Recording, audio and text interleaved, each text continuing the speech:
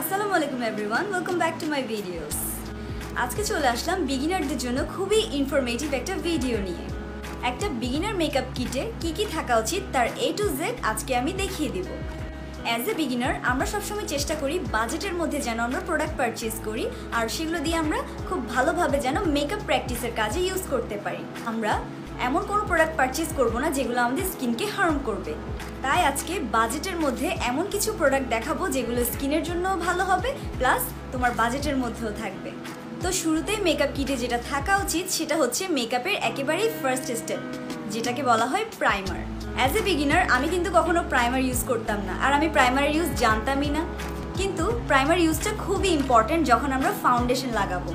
Primer লাগালে খুব সুন্দর করে আমাদের ফাউন্ডেশনগুলো কিন্তু ফেসে ব্লেন্ড হয়ে যায়। সো প্রাইমারটা কিন্তু মাস্ট তো প্রাইমার পারচেসের ক্ষেত্রে একটা জিনিস কিন্তু সবসময় মাথায় রাখতে হবে। সেটা হচ্ছে আমাদের স্কিন টাইপটা কীরকম? আমাদের স্কিন কি অয়েলি নাকি ড্রাই নাকি কম্বিনেশন কম্বিনেশন হলে কোনো প্রবলেম নেই, কিন্তু ড্রাই অথবা এক্সট্রিম অয়েলি হলে সেক্ষেত্রে আমাদেরকে প্রাইমার চুজ করার ক্ষেত্রে চেক করে নিতে হবে যে প্রাইমারটা ম্যাট কিনা, যদি আমাদের স্কিন অয়েলি হয়।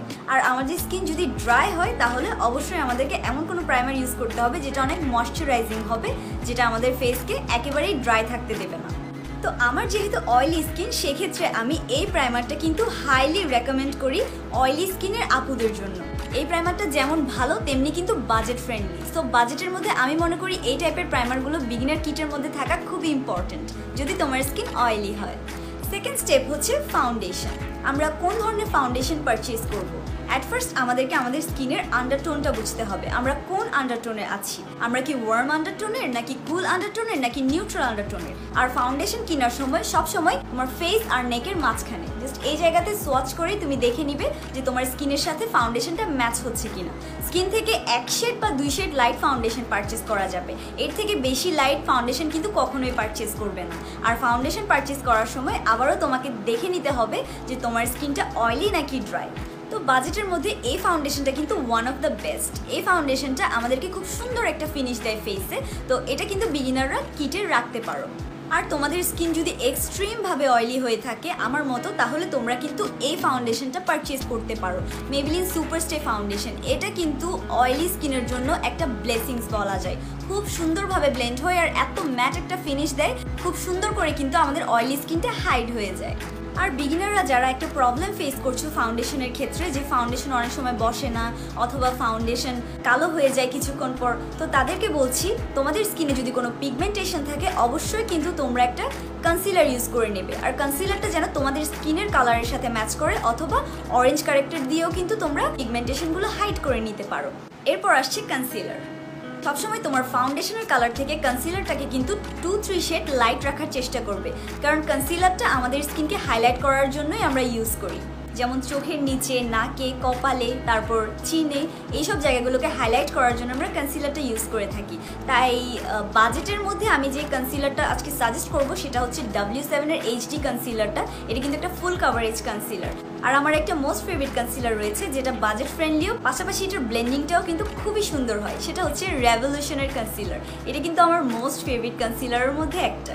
আর আরেকটু কম রেঞ্জের মধ্যে যদি চাও এলে গার্লের প্রো কনসিলারটা ইউজ করতে পারবে, কারণ এই কনসিলারটাও খুবই ভালো একটা কনসিলার এরপর আসছে পাউডার একটা পাউডার দিয়ে অবশ্যই আমাদের বেসটাকে আমাদেরকে সেট করে নিতে হবে।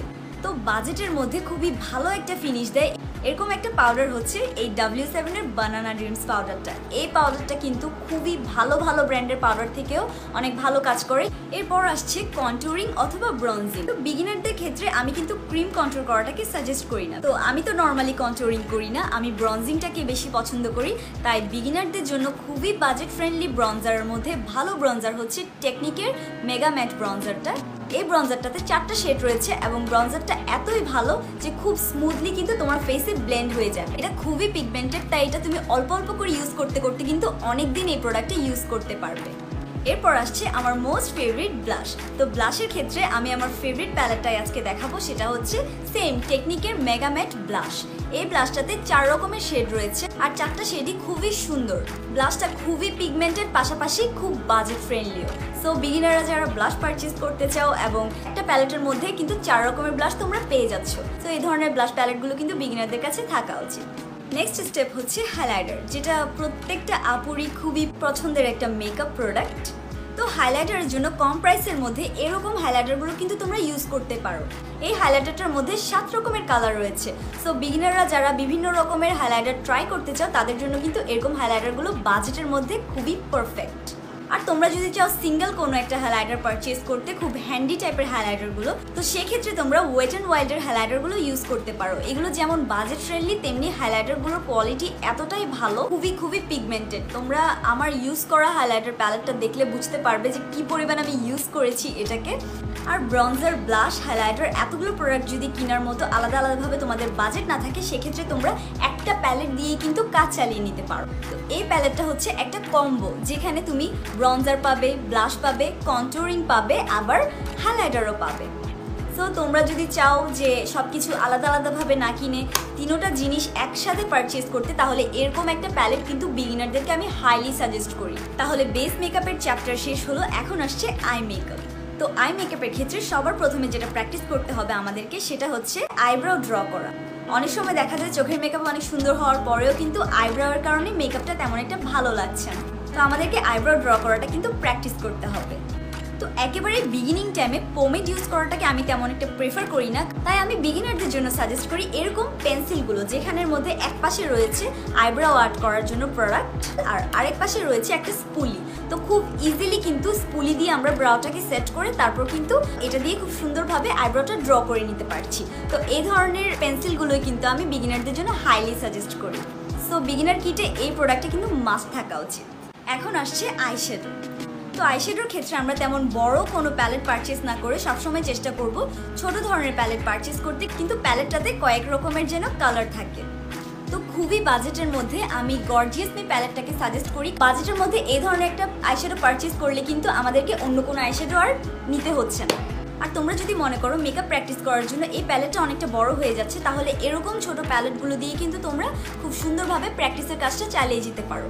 এখন হচ্ছে আইলাইনার আইলাইনার হিসেবে আমি সাজেস্ট করব ডাব্লিউ সেভেন টাইপের আইলাইনারগুলো নেওয়ার জন্য। এগুলো কিন্তু এক্সট্রিম ম্যাট আর এটা খুব বাজেট ফ্রেন্ডলিও সো বিগিনাররা কিন্তু এরকম একটা আইলাইনার তোমাদের কিটে রাখতে পারো। এখন আসছে মাস্কারা সো বিগিনার হিসেবে আমরা কিন্তু অত প্রিসাইসলি ফলসলেস অ্যাপ্লাই করতে পারি না। আমাদের ফলসলেস অ্যাপ্লাই করার জন্য কিন্তু অনেক প্র্যাকটিস করতে হবে। সেক্ষেত্রে আমাদের কিন্তু ভলিউম মাস্কারা ইউজ করাটা খুবই ইম্পর্টেন্ট ভলিউম মাস্কারাগুলো আমাদের ল্যাশকে কিন্তু আরও বেশি লং করে আর খুব ঘন দেখায়। সো আমাদের কিন্তু আইল্যাশ ইউজ করার দরকার পড়ে না। তো সবসময় একটা ভলিউম মাস্কারা কিন্তু তোমাদের কিটা মাস্ট থাকা যায় এখন আসছি কাজলে। কাজলের ক্ষেত্রে আমি কিন্তু ব্ল্যাক কাজলটা একটু অ্যাভয়েড করি কারণ আমার নুট কাজল খুব পছন্দ। তো নুট কাজলের ক্ষেত্রে তোমরা কিন্তু রিমেলের স্ক্যান্ডালাইজ নুট কাজলটা ইউজ করতে পারো। এটা কিন্তু অসম্ভব পিগমেন্টেড এখন আসছে খুবই ইম্পর্ট্যান্ট একটা বিষয়। এতক্ষণ যে মেকআপগুলোর নাম বলেছি, ওগুলো তোমরা লাগাবে কি দিয়ে?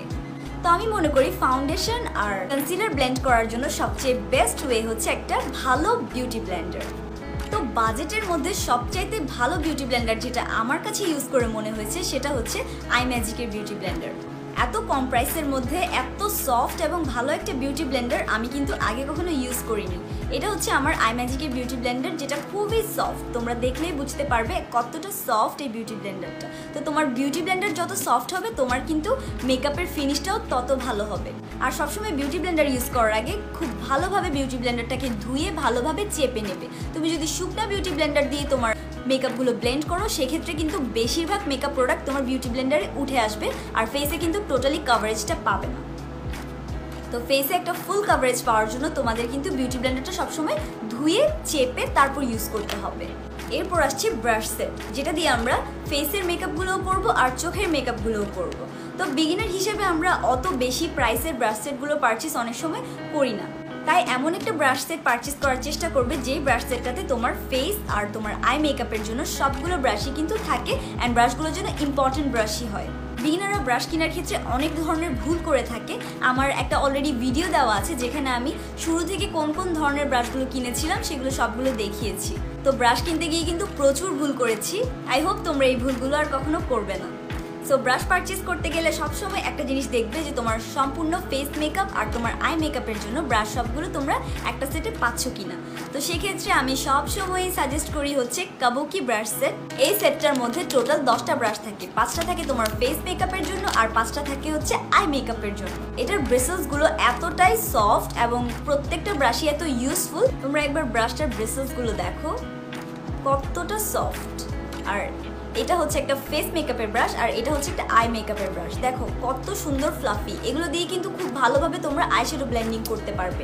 আর বিগিনার হিসেবে যখন আমরা আইশ্যাডো লাগানো শিখছি, সেক্ষেত্রে আমাদের কিন্তু এ ধরনের ব্রাশগুলো খুব ইম্পর্টেন্ট তাই এই ব্রাশ সেটটা তোমাদেরকে আমি হাইলি সাজেস্ট করি। এখন আসছে লিপস্টিক লিপস্টিকটা সম্পূর্ণ তোমাদের উপর। তোমরা কোন ধরনের লিপস্টিক লাগাতে পছন্দ করো, তোমরা সেই ধরনের লিপস্টিকের শেডগুলোই কিনবে। কিন্তু সবসময় চেষ্টা করবে তোমাদের কিটে দুই ধরনের লিপস্টিক রাখার। একটা হচ্ছে নর্মাল লিপস্টিকগুলো আরেকটা হচ্ছে লিকুইড লিপস্টিক লিকুইড লিপস্টিকগুলো কিন্তু খুবই প্রিসাইসলি লাগাতে হয়, তাই এটা লাগানোর জন্য কিন্তু একটু প্র্যাকটিসের প্রয়োজন আছে। তো বাজেট ফ্রেন্ডলি লিপস্টিকের মধ্যে আই ম্যাজিকের লিপস্টিকগুলো কিন্তু খুবই ভালো আর ম্যাট একটা লিপস্টিক আর এটার কালারগুলো জাস্ট অসাধারণ। আর কি কালার রাখবে সেটা সম্পূর্ণ তোমাদের উপর। তোমরা যদি নুট টাইপের কালার পছন্দ করো, সেগুলো রাখতে পারো। আর তোমরা যদি মনে করো ডিপ কালার দিলে তোমাদের মেকআপটা ভালো হবে, তাহলে তোমরা ডিপ কালারও রাখতে পারো। আমার কাছে কিন্তু নুডের কালেকশন একটু বেশি, কারণ আমি পার্সোনালি কিন্তু নুড কালার লিপস্টিকগুলো খুবই পছন্দ করি। সব শেষে সবচেয়ে ইম্পর্টেন্ট যে জিনিসটা আমাদের মেকআপ কিটে থাকতেই হবে, সেটা হচ্ছে একটা সেটিং স্প্রে তোমার মেকআপ ফাইভ মিনিটের হোক অথবা ফাইভ আওয়ার্সের মেকআপ হোক, যেমনই হোক না কেন সেটিং স্প্রেটা কিন্তু কখনোই তোমরা স্কিপ করতে পারবে না। কারণ একটা সেটিং স্প্রে আমাদের পুরো মেকআপটাকে সারাদিনের জন্য লক করে রাখে। যাদের অয়েলি স্কিন তারা কিন্তু সবসময় অয়েল কন্ট্রোল ফিক্সিং স্প্রেগুলো ইউজ করার চেষ্টা করো আমার মোস্ট ফেভারিট সেটিং স্প্রে যেটা বাজেটের মধ্যেও আছে, সেটা হচ্ছে রেভলিউশনের সেটিং স্প্রেটা এছাড়াও ওয়েট অ্যান্ড ওয়াইল্ডেরটাও খুবই ভালো, সেটাও তোমরা ট্রাই করতে পারো। আর আজকে আমি যে যে ব্র্যান্ডগুলো দেখালাম, এই ব্র্যান্ডগুলো না হলেও অন্য ব্র্যান্ডও তোমরা ইউজ করতে পারো, কিন্তু কোন কোন মেকআপ প্রোডাক্টসগুলো তোমাদের কিটে রাখতে হবে, সেগুলো আমি দেখিয়ে দিলাম। তো রিসেন্টলি বেশ কয়েকজন বিগিনার আপু জানতে চেয়েছেন যে মেকআপ কিটে আসলে কি কি থাকতে হয়। কোন কোন জিনিসগুলো দিয়ে আমরা মেকআপ করব, আমাদেরকে একটা লিস্ট করে দাও। তো এই ভিডিওটা তাদের জন্য এ টু জেড সব কিছুই বলে দিলাম। শুরু থেকে শেষ পর্যন্ত এই জিনিসগুলো যদি তোমাদের কিটে থাকে, তাহলে তোমরা একটা সুন্দর মেকআপ করার জন্য একেবারেই কিন্তু রেডি তো আজকে এখানেই বিদায় নিচ্ছি। See you in the next video till then আল্লাহ হাফেজ।